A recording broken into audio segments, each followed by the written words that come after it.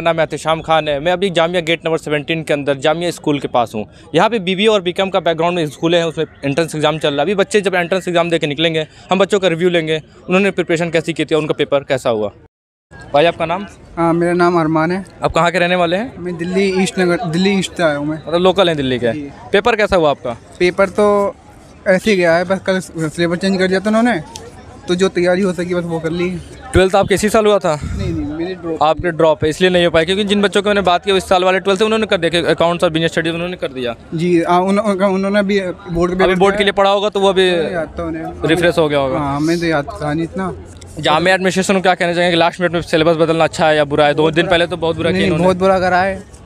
Last में last के चौबीस घंटे में जो तैयारी सिलेबस अपडेट ही करना था तो महीने दो महीने पहले कर दिया होते तो एक महीने पहले ही बता देते तो हम कवर कर लेते पूरा से। लास्ट में बता रहे हैं। पेपर का लेवल कैसा लगा? मॉडरेट था या हार्ड था? पेपर तो नॉर्मल था। अगर हम कर ले एक महीने पहले कर लेते तो पूरा हो जाता। ज़्यादा हार्ड आपने टच ही नहीं किया होगा जिन चीज़ों को वो आ गया था फिर आप अनएक्सपेक्टेड ही कहेंगे। जी हाँ। बाकी आपको क्या लगता है हो जाएगा या नहीं हो जाएगा पेपर जिस हिसाब सॉल्व किया आपने? मैंने साठ साठ तक तो मैं करके आया हूँ मैं। अब देखते हैं कट ऑफ़ के ऊपर होना तो चाहिए। ठीक है ऑल द वेरी बेस्ट भाई आपका नाम? आतिफ खान। कहाँ के रहने वाले हैं आप? सीतामढ़ी बिहार। बिहार। पेपर कैसा हुआ आपका? पेपर ठीक ही ठाक था नॉर्मल था उतना कोई ज़्यादा हाईफाई नहीं गया है क्योंकि एक दिन पहले ही सिलेबस इन्होंने चेंज कर दिया ना। पूरे जामिया वालों के लिए ये गलती बहुत बड़ी गलती है। एडमिनिस्ट्रेशन की बच्ची बड़ी गलती है कि पेपर से दो दिन पहले सिलेबस बदलना नहीं चाहिए था। बदलना है तो पहले बदलो या बदलना था। आपको तो 27 फरवरी को अगर आपने मेंशन किया था तो हम कम से कम है ना अपडेट कर देते जामिया के वेबसाइट पर तो आदमी देख लेता। अब आप एक्चुअली एकदम एकदम से एक, एक को करोगे एक दिन पहले तो कहाँ से कोई प्रिपरेशन कर पाएगा? पेपर का डिफिकल्टी लेवल क्या था? मॉडरेट था या हार्ड बहुत डीप था। बहुत ज़्यादा डीप था। डीप था। हाँ गहराई में जाने वाला आप अभी इस दोपहर में दो पहले बच्चे मिले जो कह रहे कि डीप था क्वेश्चन क्योंकि बच्चे मिल रहे कह रहे नहीं मॉडरेट पेपर था। डीप था मॉडरेट नहीं डीप था डीप था क्वेश्चन जो अकाउंट्स के क्वेश्चन थे बिज़नेस स्टडीज़ के इकोनॉमिक्स के वो किस लेवल के थे? वो सब नॉर्मल थे वो सब ठीक ठाक थे लेकिन डीप डीप क्या था? जीके जीएस या फिर रीजनिंग थे वो वो वो सब भी ठीक थे लेकिन जो मेन थे ना बिज़नेस स्टैटिक्स के पार्ट हो गए। स्टैटिक्स के। बारे में सब बोले सब हार्ड था। सब हार्ड था सारे के सारे हार्ड आए थे वो सारे के सारे हार्ड थे। जी। क्या लगता है एक्सपेक्टेड कट ऑफ़ क्या होंगे? फिफ्टी टू सिक्सटी रहेंगे अब जाएँगे जब पेपर डीप मुझे लगता है कि 40 टू 45 रहेगा। ओ क्या लगता है आपका एंट्रेंस क्लियर हो जाएगा इस बार? अल्लाह मालिक। क्योंकि एक दिन पहले इन्होंने चेंज किया तो क्या बोलेगा आदमी? जी इंशाल्लाह आपको हो जाएगा। All the very best thank you आपका नाम? मोहम्मद आतिफ सिद्दीकी। कहाँ के रहने वाले हो? मैं अशोक पार पंजाबी बाग। पंजाबी दिल्ली के लोकल हो दिल्ली के। पेपर कैसा हुआ आपका? पेपर ठीक हुआ। और पेपर का लेवल कैसा था? जो पेपर का लेवल लाइक मैं कहता हूँ कि जो सिलेबस चेंज हुआ है वो अच्छा ही हुआ। पेपर मतलब इजी आ गए। ट्वेल्थ आपकी इसी साल हुई थी क्या? हाँ इसी साल अपियर हुआ मैं। अकाउंट्स और बिज़नेस हाँ वो अच्छा हुआ। वो सही हुए होंगे। हाँ जनरल अवेयरनेस वगैरह मतलब तो पॉइंट्स थोड़ी सी मुश्किल थी। इतने दिनों में कवर कम दिनों में कवर करना। बाकी थोड़ा टाइम कम था बस।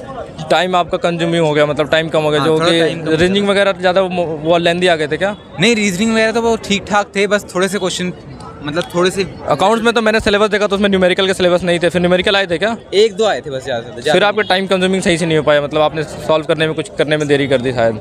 डेढ़ घंटे ही थे ना समय? हाँ जैसे कि बिज़नेस स्टैटिस्टिक्स जो था ना उसमें फंस गए मतलब ट्वेल्थ में मेरा सब्जेक्ट था नहीं। यस यस वो रहता है सबका नहीं रहता वो ऑप्शनल रहता है इन्होंने इसमें कंपलसरी किया हुआ हाँ, है ठीक है। फिर आपके जो क्या लगता है एक्सपेक्टेड कट ऑफ़ के हिसाब से आपके हो जाएँगे इस बार? देखते हैं सर अब वो तो मेरे हाथ में है नहीं। आपके पेपर अच्छे हुए हैं आपकी मुस्कान बता रही है। हाँ हाँ हाँ। चलो ठीक है भाई वो तो सर थैंक भाई आपका नाम? लक्ष्य। कहाँ के रहने वाले हैं? सहारनपुर। पेपर कैसा हुआ आपका? पेपर सही था इजी था इतना टफ नहीं था। आपने ट्वेल्थ इसी साल की थी? क्योंकि रातों रात इन्होंने सिलेबस चेंज कर दिया पैटर्न चेंज कर दिया तो आप उस पर क्या कहना चाहेंगे? जो कि अकाउंटेंसी और बिज़नेस स्टडी पिछले सालों नहीं आते थे अब आ रहे हैं। इस नहीं इसमें कोई इतना टफ नहीं था जो भी आया था तो सही लेवल का था ट्वेल्थ में पढ़ा था उससे ज़्यादा मतलब इसी आपने इसी साल ट्वेल्थ दिया था तो आपके लिए दिक्कतें नहीं हुई। हाँ जी नहीं। और अकाउंट्स और बिज़नेस के जो क्वेश्चन थे और इकोनॉमिक्स के आपने प्रीफर किए सही थे सब। हाँ जी वो सही थे इतने टफ नहीं थे इतने टफ नहीं आए थे जिस लेवल का मतलब बोर्ड में उससे उससे थोड़ा इजी था। पेपर मतलब मॉडरेट टू इजी था नॉट अ हार्ड जी ठीक है। करूँ? भाई आपका नाम? लोकेश शर्मा। कहाँ के रहने वाले हैं? यूपी पेपर कैसा हुआ आपका? पेपर अच्छा था मीडियम था।